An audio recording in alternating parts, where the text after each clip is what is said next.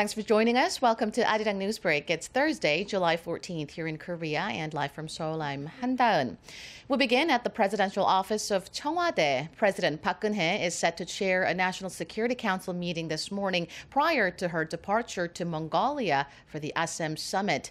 The meeting will likely center on the follow-up measures after Seoul and Washington's decision to deploy the U.S. missile defense system THAAD to Seongju, Gyeongsangbuk-do province. President Park will also call on the military to maintain a high level of defense readiness during her five day trip to Mongolia. During her stay there, the South Korean leader will call for international support in reining North Korea's nuclear ambitions, both at the ASEM summit and bilateral talks with her Mongolian counterpart. Lawmakers are expected to fire questions at government officials regarding the issue of allocating this year's supplementary budget, continuing their special committee on budget and accounts meeting. For more, we go to our Shin Se-min at the National Assembly. Se-min, tell us more. Good morning, Daeun. The Q&A session is expected to begin soon, and one of the main talking points is expected to be regarding the extra budget plan set to be submitted to the Parliament later this month.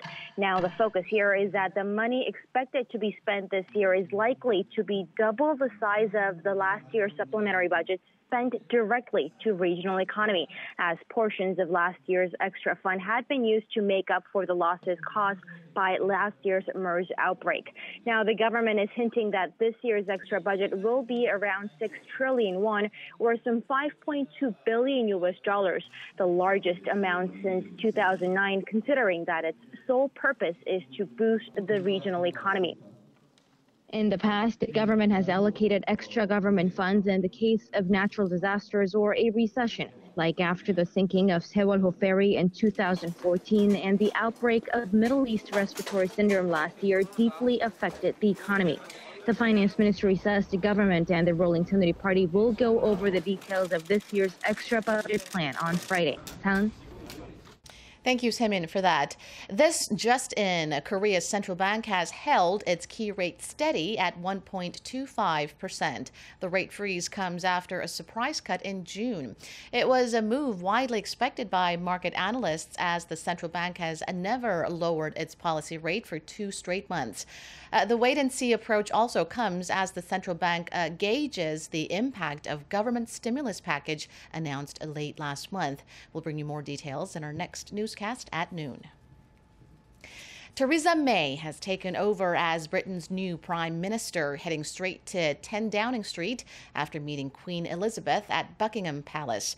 The 59 year old is Britain's second female prime minister and replaces David Cameron, who stepped down after losing the referendum on Britain's EU membership. Park Jong Hong has the story. The UK has ushered in a new British Prime Minister. Theresa May, in her inaugural remarks as Britain's second female PM in history, vowed to lead a one nation government that works for everyone. We will rise to the challenge. As we leave the European Union, we will forge a, forge a bold new positive role for ourselves in the world. And we will make Britain a country that works not for a privileged few, but for every one of us. She said it would be her mission to, quote, build a better Britain. In a bold move upon taking office, Theresa May was quick to appoint Boris Johnson, the prominent yet controversial Leave EU campaigner, as her foreign secretary. She sacked Finance Minister George Osborne, replacing him with Philip Hammond. May also named David Davis the Secretary of State for exiting the EU, a newly created position. Liam Fox has the role as Secretary of State for International Trade, a pivotal position as Britain finds itself having to sign a slew of new trade deals. Hoping to unite a divided nation after the referendum, Theresa May's new cabinet lineup is seen to reflect a good balance of figures who had either opposed or endorsed the Brexit initiative. Park Jong-hong, Arirang News. North Korea appears to be making progress in its submarine launched ballistic missile development, and leader Kim Jong un seems determined to make it a success. This is according to Joseph Bermudez, co founder and chief analytic officer of All Source Analysis. Speaking at a briefing organized by North Korea monitoring site 38 North, Bermudez said North Korea seems to be taking steps forward with each test and predicted that at this rate, the regime will attempt or will succeed at a full range test sometime in the next 12 months. He said the biggest challenges facing the North's SLBM development are quality control and system integration. If and when completed, Bermudez warned Pyongyang's SLBM capabilities would pose significant threats as they can be launched from different locations. Scorching heat and humid conditions are persisting in Korea. Afternoon highs nationwide are forecast to top 30 degrees Celsius pretty much everywhere. A heat wave watch has been issued in parts of Gyeonggi-do, Gangwon-do, and Gyeongsang-do provinces. There's a 60 to 80 percent chance of rain over the course of the day. Up to 20 millimeters is forecast for inland areas due to atmospheric instability. As for Korea's northeastern coast, a heavy rain watch has been issued. The humid and rainy conditions are expected to last through Saturday as a monsoonal front gradually moves northward.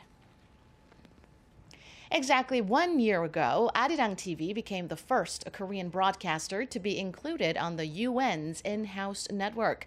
Arirang TV is one of only 19 UN in-house channels, along with international broadcasters like CNN and BBC World and major American news networks like NBC and ABC.